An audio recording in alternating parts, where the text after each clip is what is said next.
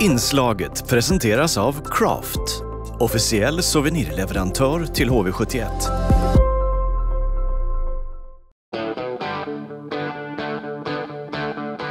HVTV presenteras av Invid, Intersport och Nybergs bil.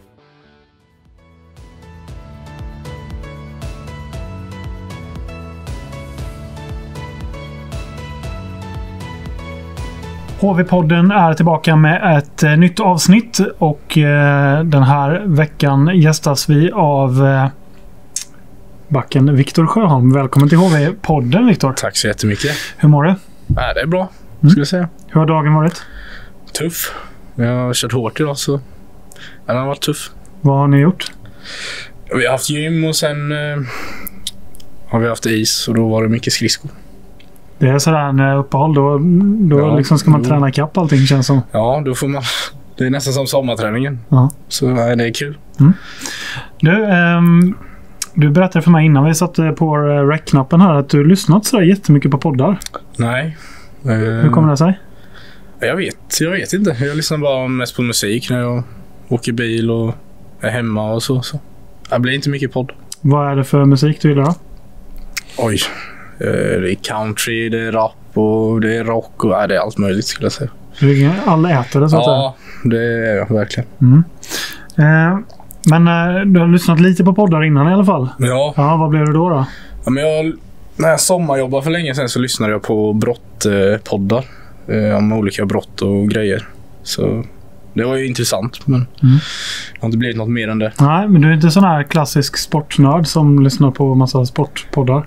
Nej, nej det är jag verkligen inte. Nej. Men följer du sport mycket när du sitter hemma annars? Ja, ja. Jag kollar så många hockeymatcher jag kan. Så nej, det, jag är nörd, men inte poddnörd. Ja, okej. ja. Du, vi ska prata lite om din eh, karriär hittills och eh, din uppväxt lite grann. Ja. Du är född och uppväxt eh, här i trakten kan man säga, i Habo. Ja, Hur var uppväxten i Habo?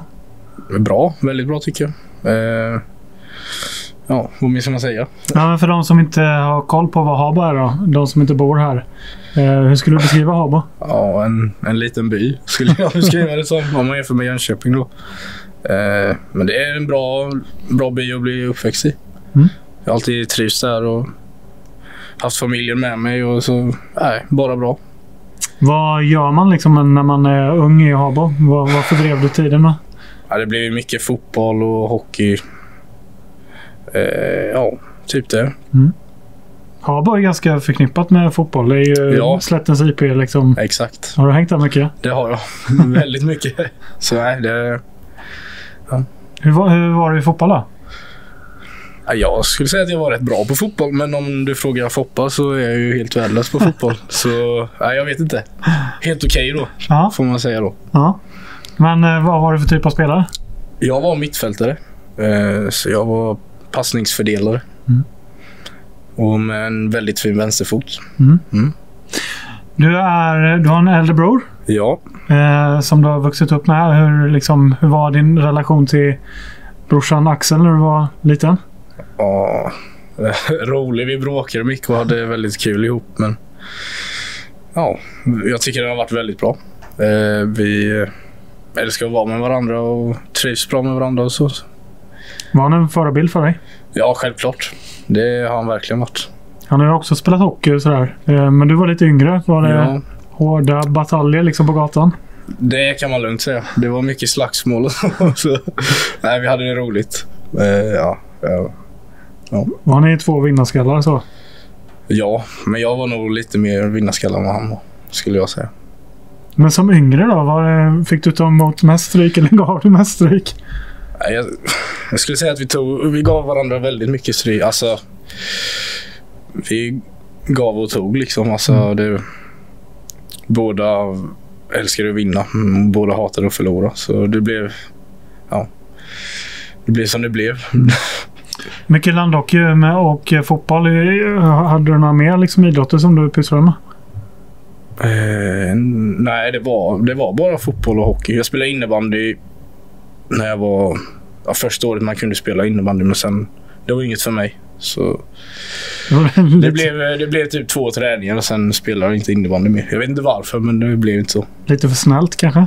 Kanske. Ja. Du, du började ju spela hockey. Hur gammal var du då? Jag var typ fyra eller fem. Jag började spela hockeyskolan i Dalen med min bror faktiskt. Kommer inte ihåg så mycket av den tiden. Men ja, Nej, men fyra, fem runt där. Och då var han två år äldre. Ja, Och du började spela med den ålders... med den åldern. Ja, exakt. Hur var det då? Ja, som sagt, jag minns inte så mycket av den tiden, men eh, ja, hockey har alltid varit hur kul som helst. Så det var nog kul. eh, varför hamnade du i Dalen för? Eh, min pappa slutade spela hockey i Dalen och då blev det bara att han skjutsade oss till Dalen. Så det blev bara så. Det känns ju som en liten omväg när man bor i Habo kanske. Ja, det ja kanske inte ja, kanske lite, Ja. men... Nej, men nu... Jag vet faktiskt inte varför. Ja. Det, det är val för farsan slutade spela det. Ja. Vad var liksom charmen med att komma till en, en förening som Dalen tycker du? Eh, det. Ja. En bra, alltså en bra klubb att börja hockeykarriären på skulle jag säga. Eh, man får ch- chans att spela med de som är äldre oftast. Eh, för de kanske inte har så mycket spelare som HV har och så. Så får man lättare chansen upp att spela med de äldre. Så det var väl det som var väldigt positivt. Har det hjälpt dig mycket tror du? Det har hjälpt mig väldigt mycket. Eh, man har ju alltid velat tävla med de som är större. Så det har hjälpt mig otroligt mycket. Mm. Jag hörde att du lite senare sen när du hade kommit en bit in i hockeykarriären alltid liksom siktar in dig på den största i motståndarlaget. Ja, ja, jag vet inte varför. Det är bara bevisa att jag är hård eller något. Jag vet inte. Men var det verkligen så? Ja, men det är... Ja, jag backar aldrig. Så...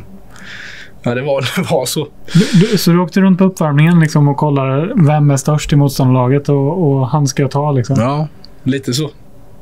Va, men var kommer den mentaliteten ifrån tror du? Ja, jag, jag vet faktiskt inte. Det... Jag vet inte. Det är svårt att svara på. Men eh, det, det var så i alla fall. Har det någonting med att göra att du var liksom yngst även när ni Ja. spelade landhockey och allting sånt där? Ja, jag ville bevisa något förmodligen. Mm. Så det var nog därför. Mm. Ehm, det har, jag pratade med din pappa häromdagen Mhm. och han sa att när du var liten så hatade du att träna. Ja, det stämmer. Berätta mer om det.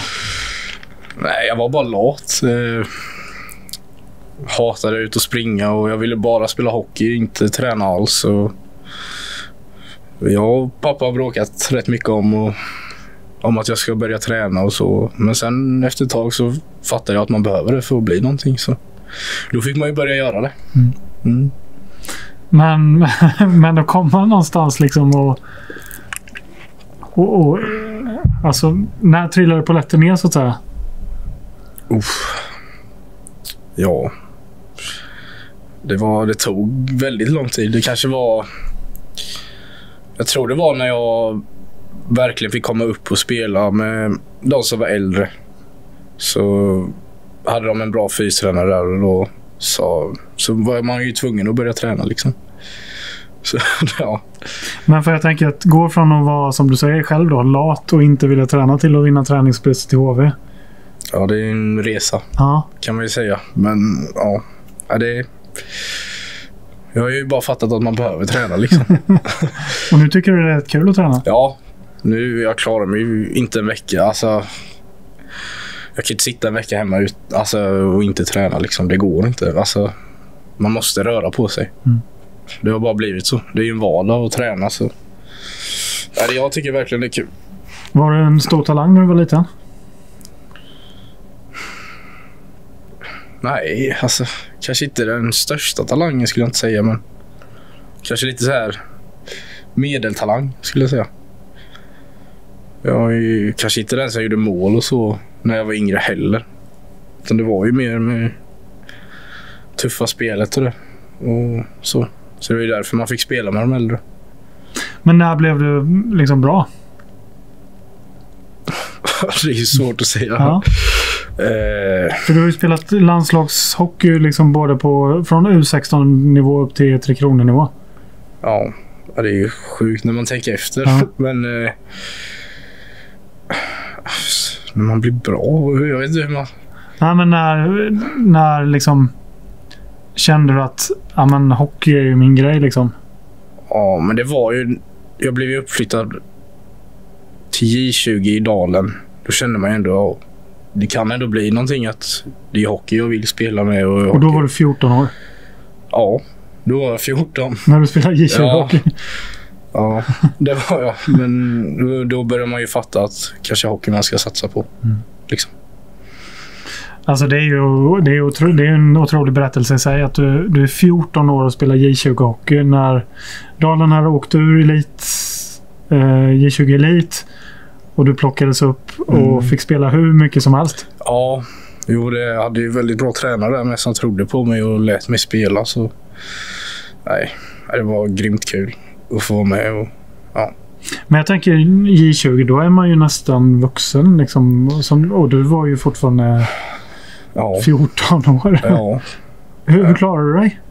men bra skulle jag säga. Jag, jag har ju alltid varit den som går efter den största spelaren som du sa innan. Så ja, jag skötte mig rätt bra faktiskt med fysiska spelet och allt det. Mm. Så det, Du, ehm, du slutade spela hockey under en period. mm. När var detta och varför? Eh, ja. Det var, jag kommer inte ihåg riktigt när det var. Men det var något år där jag bara, nej. Det är inte kul längre typ och så här. Det var, då slutade jag och började spela handboll helt plötsligt. Eh, men det var typ en, två veckor och sen kände jag att ah, hockey. hockey är det roligaste jag vet så då började jag igen. Men var du less på hockeyn den där ett tag eller? Ja, då var jag riktigt less. Ja. Så nej, jag, kommer inte ihåg vad anledningen var riktigt, men någonting var det. ja. Mm. Då började du spela handboll i Hallby och du eh, började med taekwondo. Ja, just det, det med. Ja. Berätta om din karriär inom taekwondo, Victor. Ja. Det var, nej, jag fattar inte ens varför jag gjorde det. Men ja, det blev så.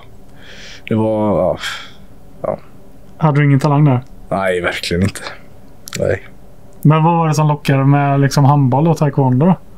Var det bara att testa? Ja, eller? bara testa något. Det var nog det. Var nog det. Ehm, totalt orädd i alla situationer. Mm. Stämmer det? Ja. Eh, Jag vet inte vad det är, men jag... Jag, jag blir aldrig rädd så på plan eller någonting. Jag bara in. Det, För det, det kan ju, alltså hockey är ingen, det är ingen lek på det sättet. Man Nej. kan ju få skador och sådär. Det kan ja, göra ganska ont. ja, jag har aldrig tänkt på det riktigt. Kanske ska börja göra det. Men har du alltid haft det där inom dig? Att du, du är liksom totalt orädd? ja, jag tror det. Alltid den mentaliteten i alla fall. Och bara gå all in i allt man gör. Det, det är jag som person, skulle jag säga. Eh, Kommer det från brorsan och farsan eh, eller är det någon, ett egenskap jag, du själv jag tror det är från min morfar faktiskt. För han är också sån. Han går all in i allt han gör. Ja. Nej, brorsan är inte samma. s- Ja, farsa vet jag inte på det sättet. Så, nej, men jag är nog väldigt lik min morfar skulle jag nog säga. Men ehm, har du liksom aldrig blivit, har fått någon skada som har gjort att äh, jag kanske borde ta det lite lugnare? Nej. Jag har aldrig haft någon... Jag har aldrig haft någon skada inom hockeyn. Alltså liksom brutit någonting inom hockey eller så.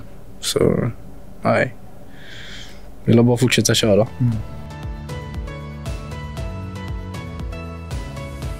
Men aldrig skadad och med den spelstilen du har egentligen Viktor. Det är ju, det är ju ganska otroligt. Hur, hur har du liksom... För du har ju väldigt timing när det gäller det fysiska spelet och sånt där. Är det någonting du har övat upp eller är det, det Nej, det någonting är du har i dig? Det är ju någonting jag bara haft. Jag vet inte hur man ska träna på det riktigt. Men ja, det är någonting jag bara haft. Har du haft någon förebild när det gäller liksom hockeyn och den spelstilen Ja, det var ju, man kollade ju väldigt mycket på Kronvalls tacklingar och så när man var liten. Så det måste ju vara han då. Skulle, ja, de kollar man väldigt mycket på. Och vad är det som gör att, man, att, du, hitt, att du hittar den här tajmingen tror du? Ja, det är jättesvårt att, jättesvårt att svara på, men jag, jag vet inte. Det, vissa har den och vissa har den inte. Så är, så är det bara. Är det någonting du har liksom lärt dig eller? Ja, men det har blivit mycket bättre under åren. Har det blivit.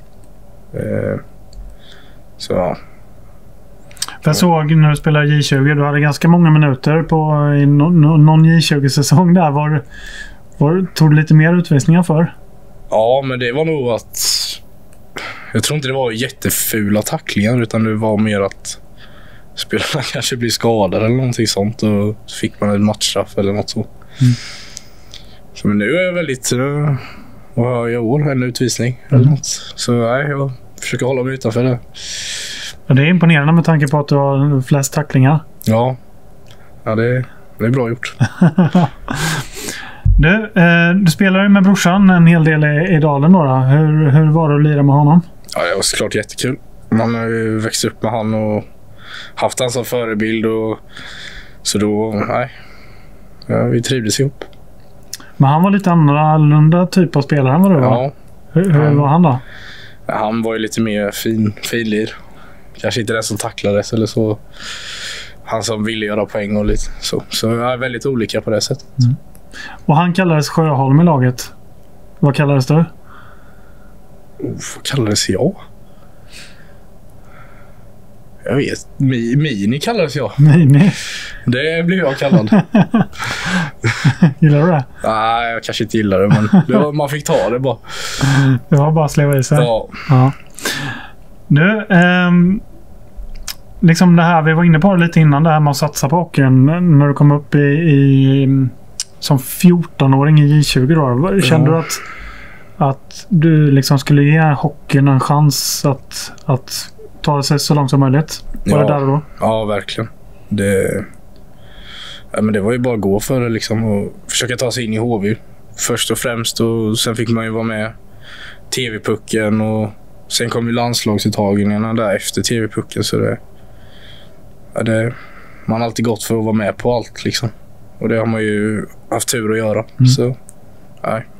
Ja, vad minns du liksom av när du blev uttagen till, till TV-pucken? Ja, man tänkte att det var det största man har varit med om. Eh, så det var ju hur kul som helst att få med TV-pucken. Men sen var det, ju- blev det ju mycket större när man kom i landslag och allt det. Så, Men om vi börjar med TV-pucken. Hur, hur var turneringen? ja, vi hade det tufft. Vi kom vi. Ja, vi har du koll när vi... Nej. Ja, det har jag nog. Fyra, fem... Nej, fyra, femma. Eller något kanske. Eh, nej, det har jag inte. Nej, ja, vi, Men det kan nog stämma. ja nå, något sånt var det i Mm. alla fall. Så, ja. Det var, blev inte riktigt som vi ville, men... Men det är en upplevelse i sig liksom, att vara med såklart. där. Det var, ja, Ja. det var kul att vara med. Och sen blir det som du var inne på då, U16-landslaget. Eh, vad minns du av första landslagsturneringen? Oj, inte jättemycket. Det var väldigt länge sedan. Men eh, ja, man var ju väldigt nervös minns man ju att stå där och sjunga nationalsången innan en match. Det har man ju aldrig gjort förr. Så man var nervös. Mm. Nervös att träffa nya kompisar som man fortfarande är kompisar med nu. Så nej, mycket nerver var det. Ja, Är det många liksom som har hängt i eh, hela den här vägen? Eh, 03 eller liksom hela den här landslagsvägen? Ja, det är många som har... Vi är ett väldigt stort gäng som har varit med nästan hela vägen. Så man är ju hur bra kompis med någon som helst. Så. För det är inte så jättemånga i HV.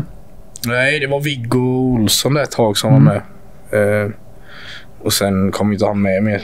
Eh, så nej, men det är, vi, vi är ett stort gäng som har hållit kvar liksom. Vi är fortfarande väldigt bra kompisar allihopa. Och sen blir det då att byta, byta Dalen mot HV71. Vad minns du av den, liksom, att, att välja stans större klubb? Jo, men det var, blev ju nästan så att jag var ju tvungen att göra det. Typ för att utveckla i hockeyn och allt sånt. Så nej, det var, jag tycker det var rätt beslut att göra det. Även om Dalen bedriver ju fantastisk verksamhet. Var Verkligen. det stor skillnad att att komma till HV? Ja, det var ju... var ju blir ju lite mer, ska man säga, lite mer seriöst och så. Eh, mer träningar och mer, alltså kon- hårdare konkurrens och alla vill ju bli bäst och liksom så. Eh, så det, nej, det blir lite annorlunda blir det att komma till en elitklubb. Ehm, debuten i A-laget. Den kom ju under den här ehm, tråkiga säsongen för Ja, HV71, pandemisäsongen. Exakt. Um, jag kan tänka mig att du minns liksom när man, får, när, man fick ta det där stora klivet. Ja, Kommer jag kommer ihåg ju- Jag kommer ihåg jag var på väg till skolan. Eh, sen blev jag... Ringde tränaren och sa att du ska hänga med upp till Luleå. Eh, och jag bara, ja. ja. Eh, så det var ju, då blev man ju liksom så här bara stressad och ja, nu ska jag till Luleå liksom. Eh, så då var det bara att åka med dit. Men jag vet inte om man kan säga det debuten så. För jag fick inte spela någonting men man var ju fortfarande med och Första gången du fick vara med liksom. exakt. Så det... Nej, minns du när du spelade första gången då? Nej, jag minns faktiskt inte det. Nej, det gör inte det. För jag var med Jag var med rätt många matcher på bänken. Men jag kommer inte ihåg eh, vilken match jag, vilken som var första matchen jag fick spela i. Liksom. Mm. Nej, det kommer jag faktiskt inte ihåg. Men första målet minns du? Det var ju Första- året efter. Ja, första Mm. målet minns jag. Ja. Det, det gör jag. Det var ju väldigt fult mål, men så det kommer jag inte glömma bort. För de som inte minns det, beskriv det. Jag vet inte vad jag gjorde. Jag, jag åkte, åkte mot mål gjorde jag på en retur och så bara slog jag till pucken. Så blev det som en chip i golf nästan. Så bara chippades över målvakten. Så, inget snyggt mål, men jag tar det. Hur är känslan liksom när man gör första seniormålet då? Ja, den är ju väldigt bra. Har du sparat pucken? Ja, självklart. Ja. Har du en sån här eh, troféhylla hemma när du sparar grejer? ja, mamma har gjort den till mig. Ja. Så jag har, i hallen har jag en sån. Och där står den pucken. Nej, jag tror den är i, i omklädningsrummet faktiskt. Jaha. I eh, min eh, lilla väska man har sina grejer i. Så jag tror den är där. Du, ehm, du var inne på Kronwall, att han var en liten förebild när det gäller tacklingarna. Har du haft någon annan sådär som du har sett upp till? Kanske mer lokalt? Många hade ju liksom Johan Davidsson och, och sådär som idoler när de var liten. Vem, vem kollade du på när du var i, i Kinnarps arena? Ja, alltså det var... Jag kollade inte på så mycket matcher när jag var yngre. Eh, men eh, Petrasek såklart eftersom han var rightare. Och, så det var ju han. Mm. Med hans fina skott och lite så. Så, så ja, jag skulle säga Pettan. Ja. Du kollade inte på så mycket matcher alltså? Nej, inte, inte när jag var yngre. Så det blev inte så mycket att man åkte till hit och kollade faktiskt. Det var mer sen när man blev lite äldre. Ja. Så jag, var ju, jag vet ju, jag var ju på det här guldet eh, 2017. Var ju på matchen. Mm. Men så, nej, det var inte jättemycket hockey. Men 2017, då var du ju gammal. Ja, då var jag ju gammal. Exakt. Jag tänkte, jag trodde du skulle säga 2004. nej, då, nej, nej, nej. Då var jag bara ett år, så då hade, hade jag inte koll på hockey. Eh, landslagsspel var vi inne på lite grann innan. Du har ju spelat landslag på alla nivåer som finns. Ja. U16, U17, U18 och så upp ända till Tre Kronor. Mm. Hur, hur, liksom, hur har den resan varit med inom landslaget? Eh, ja. Väldigt rolig. Alltså det är ju alltid väldigt kul att få ja, sätta på sig Sverigetröjan. Det är ju en stor ära. Så nej, bara kul. Ja. Vad är det roligaste med att vara med när man åker iväg på landslagssamling? Det är hockeyn, skulle jag säga. Det, alltså det är en helt annan hockey, blir det. På, vilket sätt? Ja, men det, man har ju varit över och spelat eh, i Kanada och USA. Det på liten rink. Det blir en annan hockey. Det blir... Eh, allt går mycket snabbare och det blir... Allt är mindre. Så, ja, det, jag tycker det är extremt rolig hockey. Passar den spelstilen här bra tror du? Ja, Mm. mm. det är lite tuffare och Ja, jo men det skulle jag verkligen säga. Hur mycket sneglar du på Nordamerika? Ja, det hade ju varit såklart vill åka dit och spela. Ja. Det tar mycket som krävs för att komma dit. Men det är liksom en dröm som lever? Ja, ja självklart. Mm. Jag har inte gett upp den än. Nej. Eh, men, men liksom när du kommer Tre Kronor förra året, Viktor. Ja, Eh, du är född 03. Du är superung fortfarande och får dra på sig Tre Kronor-tröjan. ja, Va- va- vad känner man här inne då? jag, vet, jag vet inte. Var du nervös? Alltså, ja, men inte överdrivet nervös heller. För jag visste att, att jag kan spela på den nivån. Liksom. Så det var bara ut och köra och ta lärdom av alla som var där och liksom se hur de tränar och lite så. Så nej, det var bara ut och köra. De här, du har ju spelat JVM också och eh, vad tar man med sig liksom för erfarenheter av att spela de här stora turneringarna? Vad har du lärt dig av det där? Ja, men det... Jag skulle säga att man... Alltså man tar med sig så mycket från de turneringarna och liksom man försöker bara lära sig att inte bli för nervös. Liksom. Och spela de här stora matcherna typ som vi spelade semifinalen där mot Tjeckien. Bara försöka vara lugn och inte stressa upp sig bara för det är en jätteviktig match och så här. Det är nog mest det.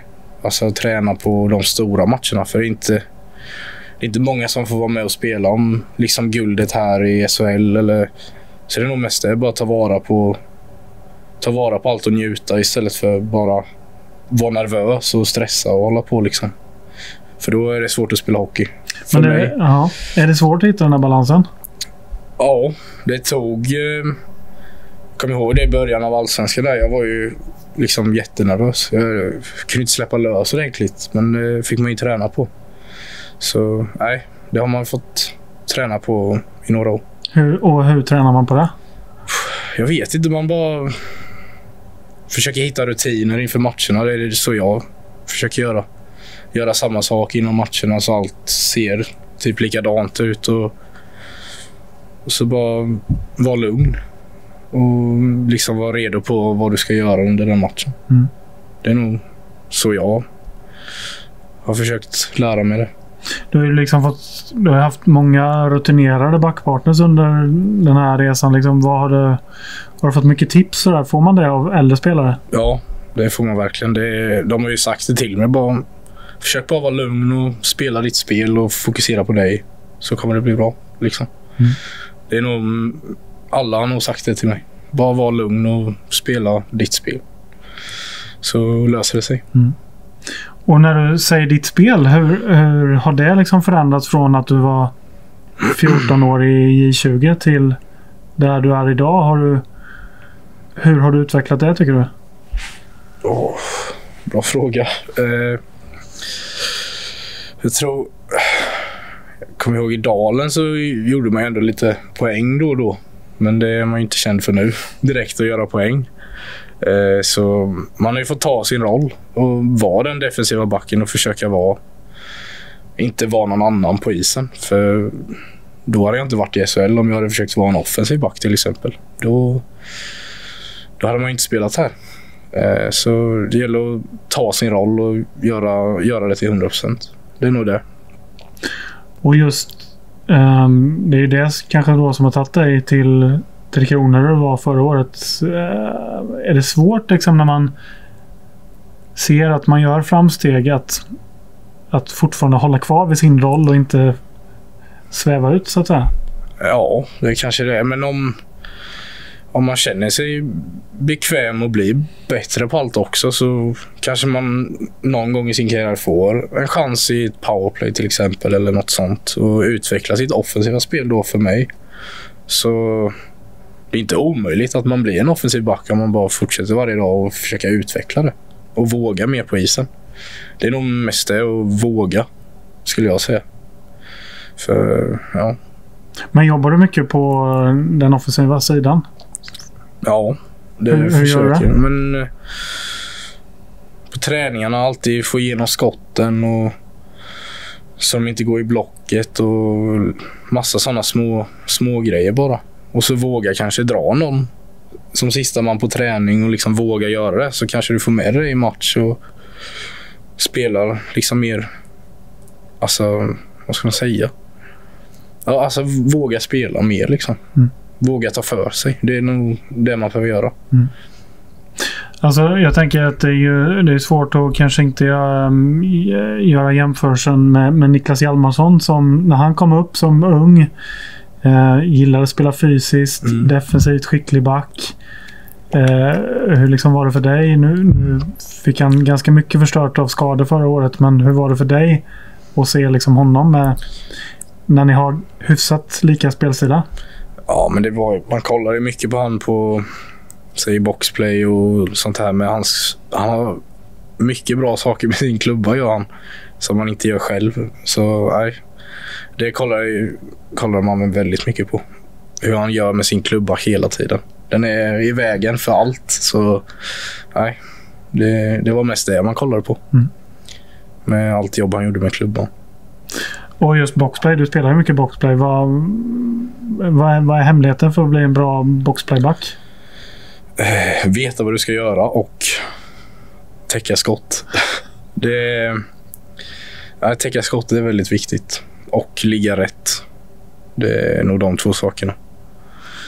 Och täcka skott har du inga problem med. Nej, det det är ont, men det får man bara göra om Ja. man ska spela boxplay. Du, eh, målen med framtiden då? Vad, vi var inne lite grann på Nordamerika. Så här, vad, vad drömmer du om mer när det gäller din hockeykarriär? Du är fortfarande ja, ung och i början på din seniorkarriär. Men Ja. vad är du om fem år tror du? Ja, förhoppningsvis i, eh, i NHL. Det är ju det man... Sen man var liten eh, har man ju alltid velat spela i NHL. Så det är ju det. Spela med de bästa spelarna i världen och ja, se om man är där. Det har varit väldigt roligt att få göra det. Men Och vad tror du krävs för att du ska komma dit? oj, det krävs att jag spelar väldigt bra hockey här i SHL. Det är nog det. Så kanske man får chansen. Man vet aldrig. Nej, eh, det är ju naturligt att, att det krävs att du spelar bra hockey och sådär. Men vad, vad tror du krävs av din utveckling för att du ska nå dit? Oj. Ja, men det är... Var noga med detaljer och fortsätta träna bra på sommarna och bli starkare och kanske bygga på sig lite kilo. Eh, så man, om man kommer över dit så man klarar av att spela hockeyn där för det är lite annat. Eh, så nej, det är bara att fortsätta nöta på varje dag. Mm. Du började den där resan då med att bygga på kilo i, i våras Ja. när du vann träningspriset. Eh, Ska vi prata lite om din vå- vår utanför isen Viktor? Eh, Där du gjorde en ga- ganska stor kroppslig förändring, eller hur? ja, jo men... eh, Hur var den här resan? är tuff. Men eh, mina lagkamrater och Sank, San, ja, Sanka, han... Eh, jag hade inte klarat mig utan dem liksom. De pushar en varje dag och jag pushar dem varje dag. Så, ja, det, det var tufft men eh, ja, Hur mycket byggde du på dig? Kanske inte byggde på mig jättemycket i kilo men det blev la två, tre kilo i alla fall. Och eh, fettprocenten gick ner. Eh, så mer muskler på kroppen. Och, alltså det var, det var en bra sommar. Hur, hur noggrann är du liksom med...